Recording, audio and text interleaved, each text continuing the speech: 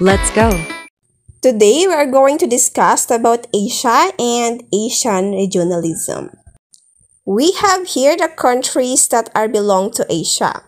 We have Mongolia, China, Korea, India, Nepal, Thailand, Vietnam, Brunei, Malaysia, Philippines, Indonesia, and others.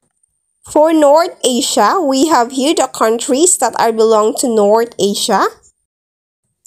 We have here the countries that are belong to East Asia. And also we have here the countries that are belong to South Asia. And we have also here the countries that are belong to West Asia.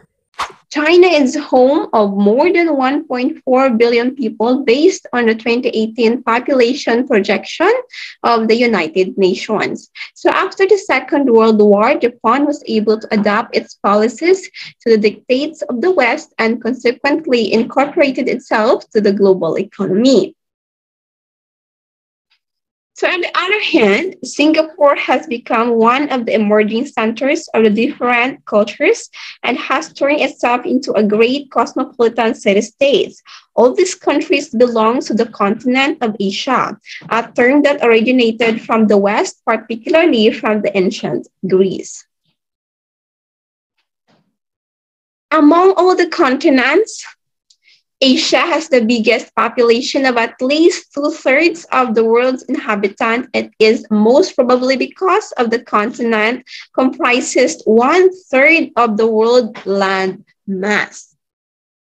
So in terms of economy, emerging and developing Asian countries and the Association of Southeast Asian Nation 5 or the ASEAN 5, which is we have the Indonesia, Malaysia, Philippines, Vietnam, and Thailand had an average of 6.3% and 5.1% GDP growth, respectively, compared to the world average growth of 3.5% as of 2016. Okay.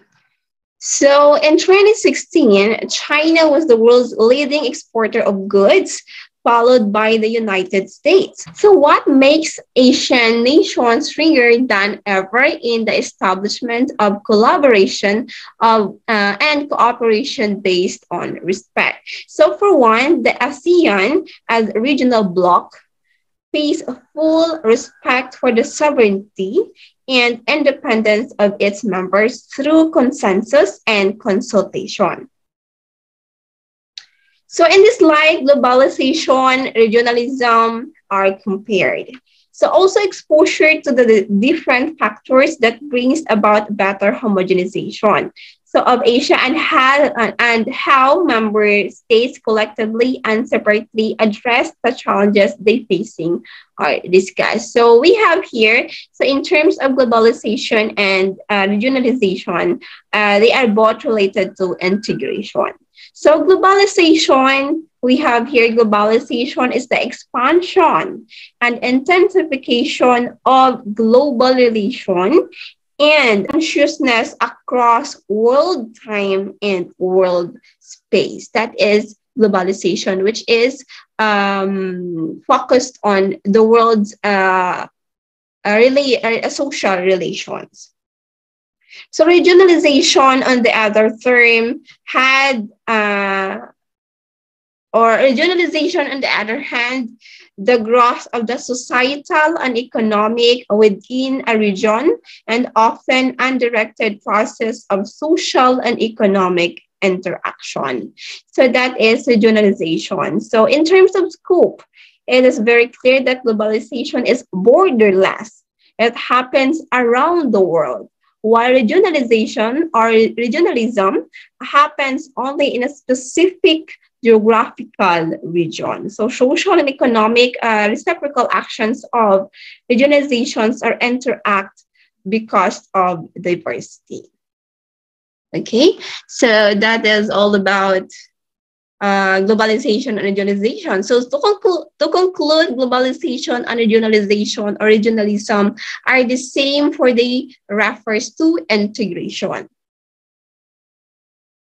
Okay, so their differences lies to the scope.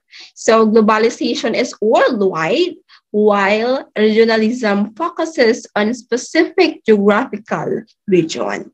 So that is the difference between the two, which is globalization is worldwide, regionalism, uh, regionalism is uh, uh, focused in a specific uh, geographical region or within the region. So Asian integration did not happen based only on one historical event, for there were different factors that lead to this alliance. So that's all for Asia or Asian regionalism. For more updates about uh, or for more videos about Asian regionalism, so please click the subscribe button and also the notification bell for you to be updated and to learn more. Thank you. Let's go.